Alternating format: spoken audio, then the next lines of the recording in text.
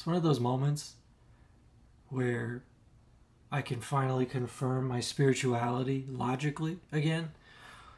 If you've seen my channel over the years, the San Onofre power plants, as shown by the Groxt in his multiple channels, he has about five now because they all keep, you know, getting banned or whatever.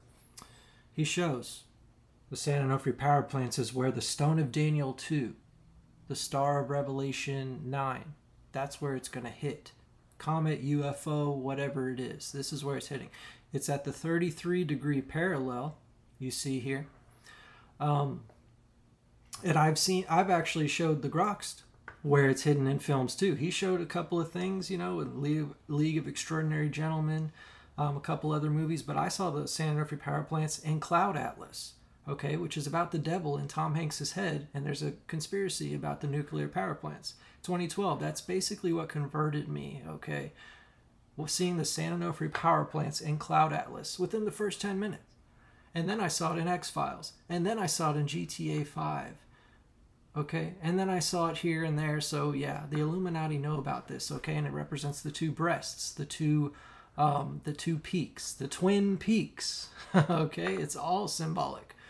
And now, in my previous videos, I showed how the Earth is actually a grid. Carl Munck's The Code shows this stuff. Okay, he shows how, you know, Stonehenge has it has 60 uh, outer stones originally and it's a 360 degree circle 360 times 60 is 21 600 and you know when you multiply its position on earth 51 degrees 42 minutes 10 degrees whatever that multiplies to 21 600 so the way it's shaped explains its location on the spherical earth which of course debunks flat earthers thank god waste of time so here's what i found out today I downloaded the X Files movie. Of course, it was five bucks on iTunes, so I couldn't resist.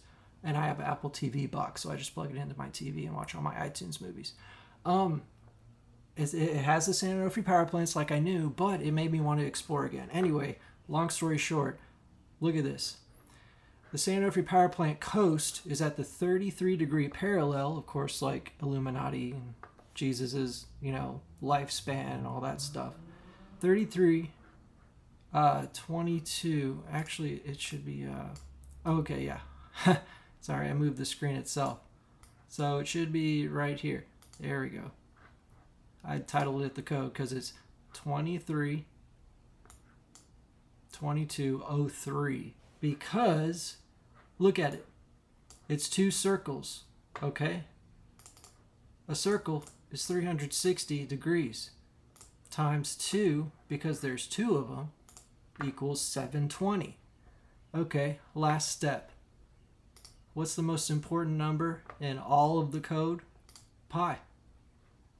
Multiply 720 times pi.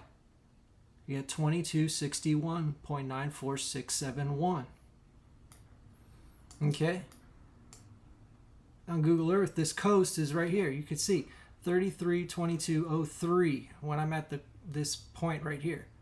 Okay, so let's just divide it by 33. Divided by 22. Oh, you get 3.11. So look,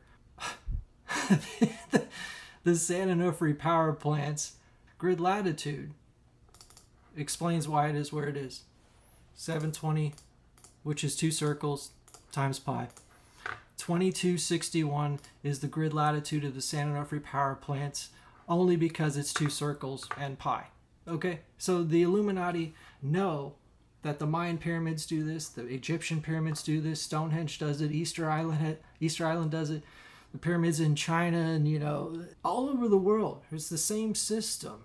We're just told it's all separate. Who cares? They're just pretty to look at. No, they're geomet they're geometrical codes. Okay, and this code right here, 332203 north multiplies its actual grid longitude that we got from 720 times pi. That's it, y'all. That's my video.